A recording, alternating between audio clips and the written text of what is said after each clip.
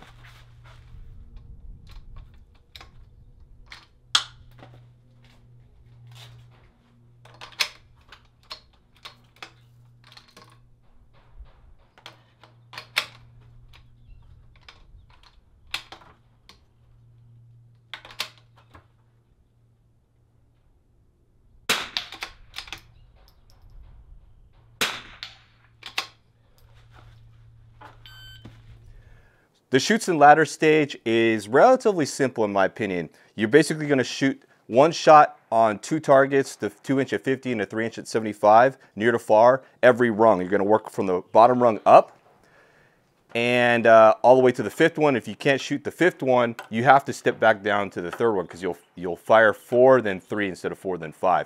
I made the mistake on that run where I went up to five, realized I couldn't shoot it because I'm short, so I can't I can't shoot the fifth. I went to the fourth, back to the fourth, and I realized, no, I have to shoot third, so I had to eject uh, around. And he saw a little mishap there when I was ejecting and closing the bolt and try to, it looked like I was jamming. I had a round in the chamber, it didn't eject. So I still have a pretty tight chamber, so if you try to eject a loaded round, it ain't gonna come out. So you kind of have to fire it off. So open bolt, basically I just realized open bolt, move, and then put a new mat, or close the bolt, then put a new mag in when I switch uh, positions correctly. So I wouldn't stage DQ. In either case, uh, no real problems here. We, even with that huge mishap there of going to the fifth round, uh, fifth rung, going back to fourth and realizing I need to go third, and then all those magazine and chamber issues, I still finished with 116 elapsed. So you can get your shots off pretty quickly here. Uh, it's all about stable position. Uh, not, nothing really, nothing really else to say here. Um, but it's a pretty straightforward stage, just a 10 shot stage. Uh, let's go ahead and move on to the next uh, stage in the course of fire. Before we jump off to the next stage, for all the new shooters seeing this run through and who are looking to shoot the May course of fire, the equipment I used for this specific stage is just one bag. I'm using a flat bag. It's called the D-Bag by Cole-TAC, and it's attached to my Arca rail by way of an Area 419 rail changer attachment. But for the ladder stage, highly recommend using a flat bag because if you try to use a game changer bag, which is all the way inside of the range, depending on how your gun is, it may not fit. Like you'll have problems trying to fit it in the rungs. So don't use a huge bag. I, I think a flat bag is actually ideal for the ladder stages because it'll it'll allow you easier maneuverability when you're jump going into the rungs. So flat bag usually better.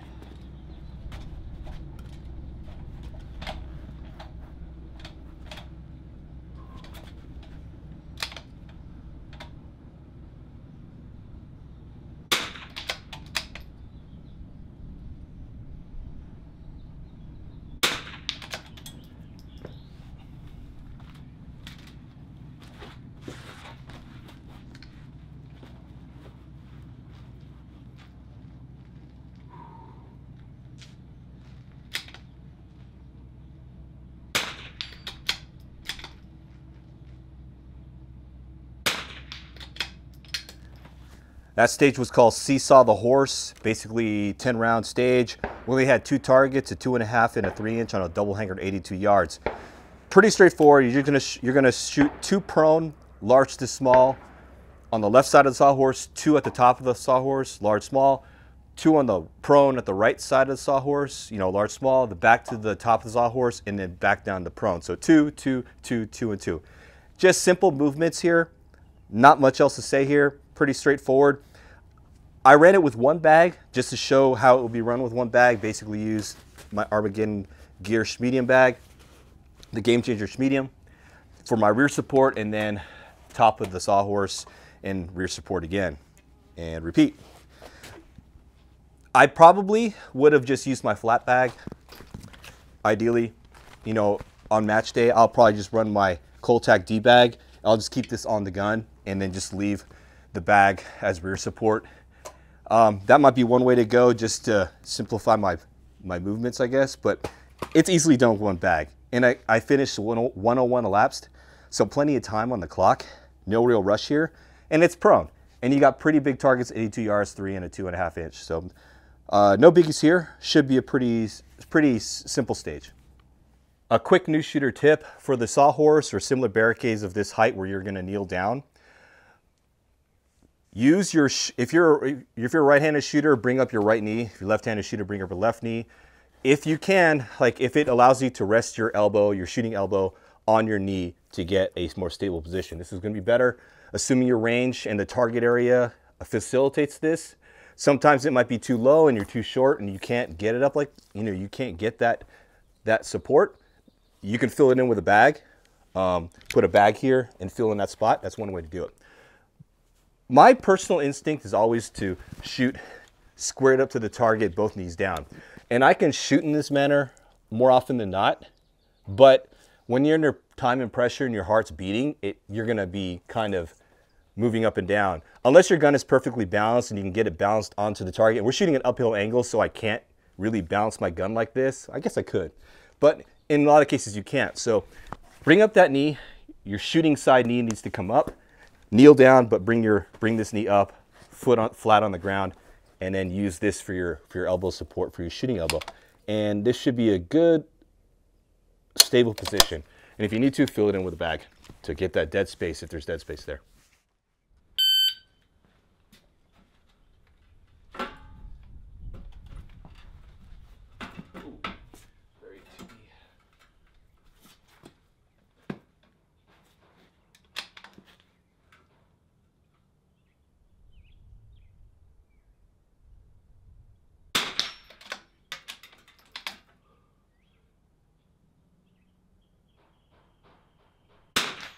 Miss.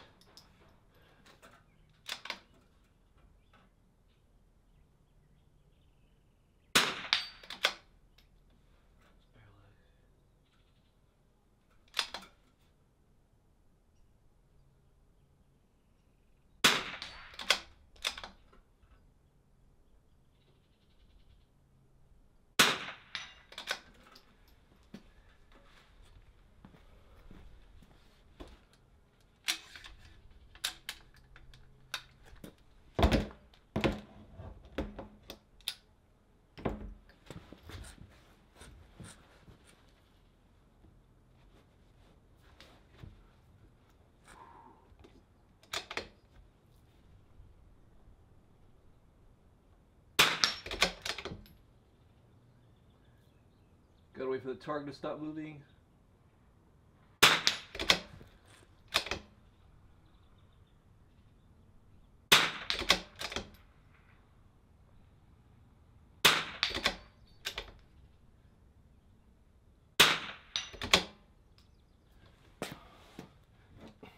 The stage I just shot was going the distance, 10 rounds, three banks of targets, the one and one and a half at 45 on a double, two inch and a two and a half at 68 on a double, and a five inch on a single at 100 yards. Uh, the restriction here is no part of the bipod can touch the ground. They give you five barricades, and you're supposed to shoot off of two different ones, near to far, large to small. Pretty straightforward. However, you're going to pick which one you want to shoot off of. They give you the cinder block, the five gallon bucket, the chair, seat facing this way, the two gallon bucket, and then the barrel, the 55 gallon barrel. Depending on what range you're at, you may want to try to shoot cinder block because you can shoot prone off of that thing. Without, you know, you can put your bipod on there or maybe not even shoot a bipod, just shoot a bag. And that gets you a good stable position.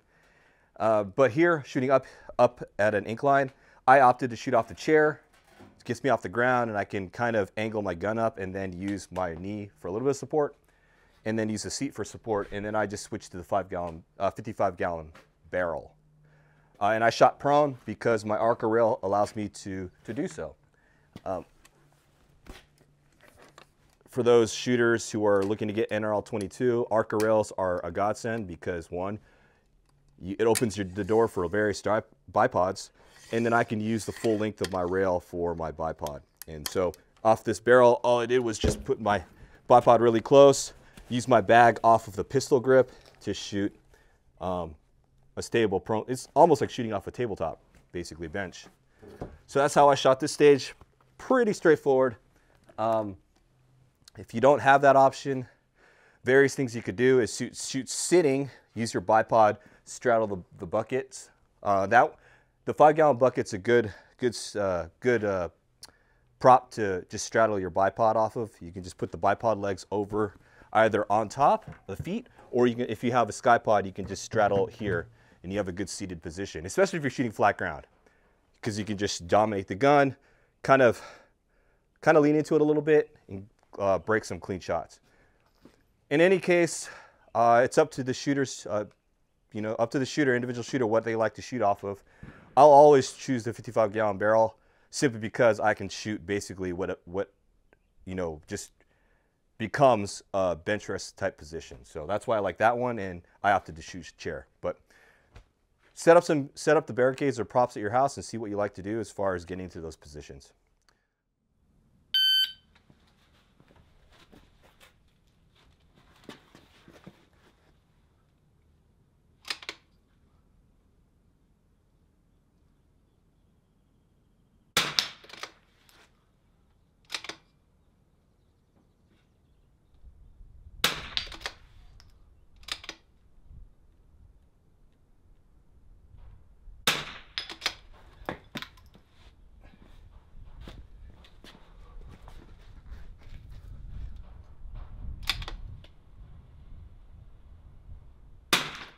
Whoa, I missed that one?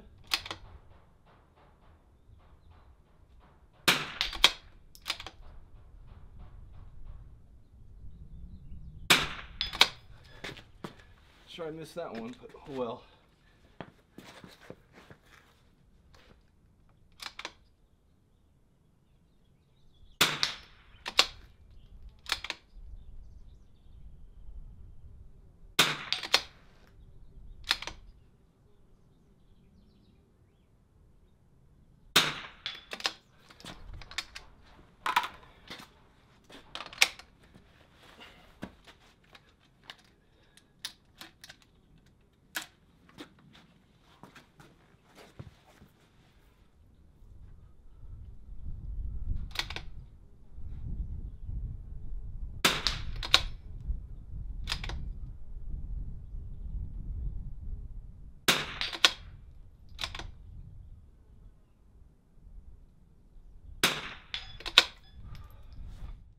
Ready, set, shoot. It's your typical tank trap stage. It's a 12 rounder.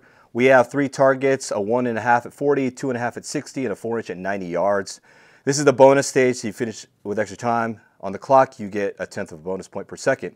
Uh, the restriction here though is you cannot dial. You can't dial your, your elevation or your windage. You can only touch your magnification knob and your parallax, which is fine. Um, I think I ran uh, what's negative 0.1 and 0.2 and 1.4 for my, my dope with 1050 feet per second out of Center-X. Um, basically, you're going to shoot off all three tank trap tips, and then the uh, final three shots will be on the center of the tank trap. Uh, so you can do the, any of the tips in any order you want, but your final three shots must be on the center of the tank trap. Not really much, you know, again, typical tank trap stage, just get a stable position as best you can. Uh, if you noticed during my run, when I ran the rifle on the forward, left forward trip, tip. I was using this right, this rear tip as my support for my arm. that worked pretty well. And then I would just lean on this side when I'm there. And then here it's just pretty much getting a good position, stable position as best you can. I just spread my, my legs out. I don't, I'm too short. I can't use my right knee or anything. So just try to balance the gun on here. My gun is relatively balanced now. So as long as it doesn't tip left, left or right, um, it balances well. So I got no problems here as far as shooting this gun like this. I can, I don't have to, uh, I don't really lose anything here. I did miss a shot at the very close range at 40 yards. Uh, I think I probably held straight on and I should have held under target a little bit or just a little or below on target. I, I don't know. Maybe I jerked it. Not sure why I missed that, missed a shot at 40 yards. In any case, just practice the tank trap if you can. Uh, these are easy, pretty easy to build. Just need a few, uh, couple, few, few, four by fours. Maybe just get a 10. I think you'll need, uh, now you'll need more than 110. So you'll probably need two 10 footers and then just cut them as you want and make a tank trap. So anyway, let's move on to the last stage.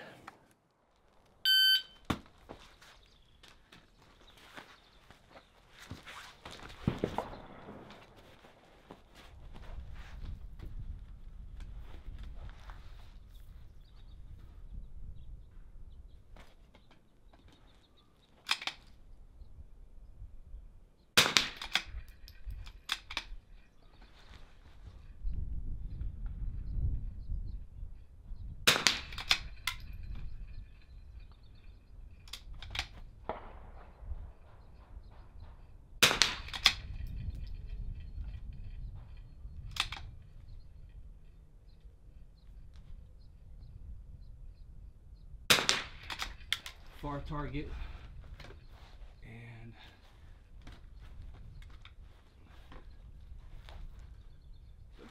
find it out there. There it is. Uh, of, on my bipod.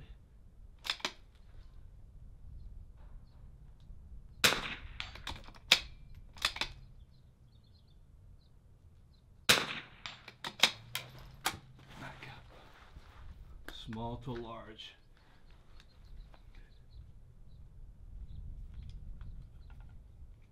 Adjusting parallax here.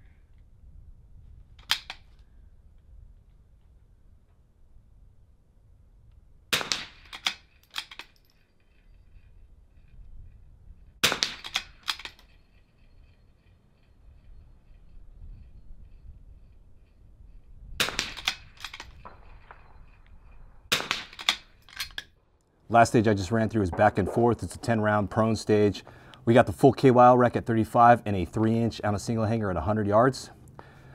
No real restrictions here. You're just gonna you know, start standing obviously with the usual, usual cadence. Take a prone supported position, engage your targets with one shot in the following order. You're gonna do the KYL rack from large to small, far target, far target, then KYL rack small to large. So KYL rack, large, KYL rack large to small, then shoot the uh, far target twice at 100, then come back to the KYL rack and shoot it from small to large.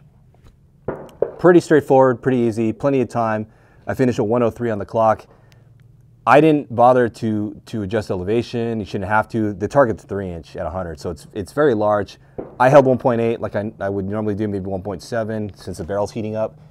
Uh, the only thing is most people will have problems with is if they're for some reason if their zero, their windage zero at 50 and under is wrong, they might be missing that KYL rack at 35 yards, like the quarter inch.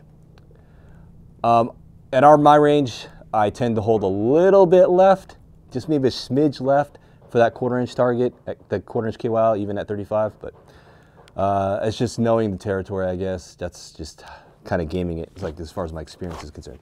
But this is a pretty easy stage in my opinion. Uh, but that's pretty much it for the NRL 22 May 2023 Course of Fire. Uh, let's go ahead and clean up and we'll wind it down. One last quick tip for the newer shooters who've never shot an NRL 22 match with this KYL rack. We have a quarter inch, half inch, three quarter inch, and a one inch KYL. Depending on what kind of KYL rack, KYL rack they're running at your, at your venue and how it's set up, more often than not, you'll hit, like let's say you hit the one inch, sorry, it'll go this way rather. Um, often this will end up shaking like this, right? The, the next target you're gonna shoot. So you, now you're looking at this, right? Do not get too focused on trying to shoot as fast as possible. let this thing, if it's shaking like this and you got to shoot out, let it, let it, let it settle down first. There's plenty of time, especially if you know this, the, the stage that you're shooting. If you're shooting prone and you're staying in one position, there's no rush, right? You're pretty much in one position. There's no movement. So just take a little bit of time for this target to settle down, then take a shot, right? Then it'll hit. And if this is also moving, the next one, again, do the same thing. Wait for this thing to settle down, this, this half inch, and then to settle, shoot it. And then keep going. Especially in the KY, especially the quarter inch starts shaking. If you shoot this one, if you shoot like the next target, the one target in your KY, the quarter inch KYL is the next one you're shooting and this is moving like this, you definitely do not want to take a shot in a quarter inch KYL, even at 35 yards, until it stops moving. Because you don't, I mean, if it's moving just a little bit, you could miss. So take your time on KYLs. I mean, know the stage, and if you're like, for example, this last one we just did, if you're sitting in prone or, or sitting in, if you're in prone the whole time and there's no movement, that means you got plenty of time. You're, you're in one position, static. You can wait a little bit for things to settle down.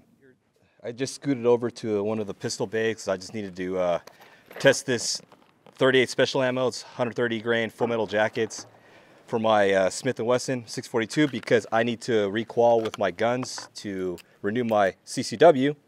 And apparently I was looking in the range that they're doing the qual at doesn't allow lead nosed ammo. I guess my the ammo that I have that I hand load for the 38 is lead nose. It's some Winchester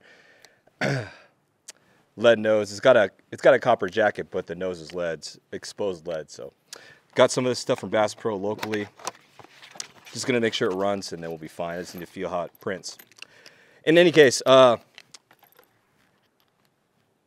the NRL 22 May 2023 course of fire I feel is a pretty good introductory course of fire for newer shooters. So if you're a new shooter looking to get an NRL 22, it's the start of the new season.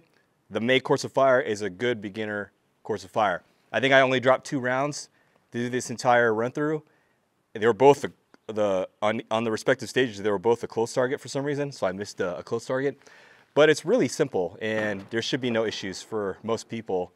Uh, experienced shooters should have no problem with this course of fire, and the new shooters will uh, will enjoy this uh, course of fire because it should be relatively low difficulty compared to some of the harder courses of fire we've had in the past. As far as the run through that I just did, for those of you who've seen my past ones, this one is a little different in the way I did it. I just did a, I live fire shot it and just went over the stage really quickly after that.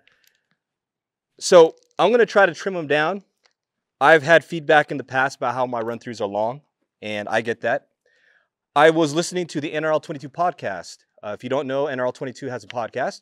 And the most recent one was with 22 Lima Romeo, and he does a run through as well. And he started doing them. I guess he saw my videos and was inspired to do his own, which were a little bit more concise. And I and I totally understand that people want a more concise, short, straight to the point run through of the course of fire.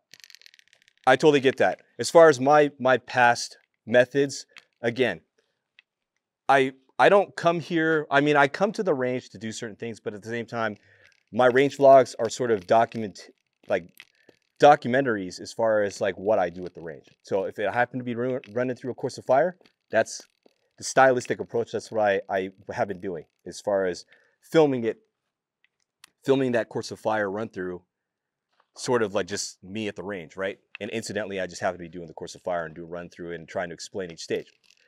In any case, I I figure let's go ahead and try to trim it down a little bit, make a little bit more uh, just shooting and a little bit of discussion, and that's it. If you like that, let me know. If you don't like it, let me know. I'm open to feedback. And I don't know, I've been kind of torn on in terms of some of the things I do online in terms of writing.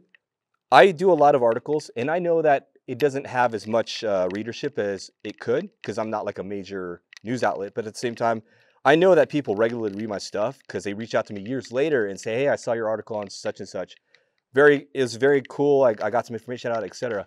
But I've noticed that people, especially in the TikTok era, if you don't do anything in less than 30 seconds, people just lose interest. It's unfortunate, and I feel that a lot of the things that we try to convey, we end up losing the details, important details, because people just don't want to stick around and listen to it. I'll admit that I get long-winded at times. Um, people told me that, but the reason why I'm long-winded is because I want to make sure that you are well informed on a certain subject. So I may go on and uh, I may prattle on and on when we start talking about something if you ask me a question, but I'll try to give you the, the most you know information up front, but when it comes down to important details, I'm gonna bring that stuff up. So I don't know, that's just kind of the way I am as far as trying to be thorough. In either case, I'm gonna go ahead and finish off firing a few more few more uh, cylinders of this, and then I'm gonna get out of here. It's getting warm. It's already 11:13. Today is my day off.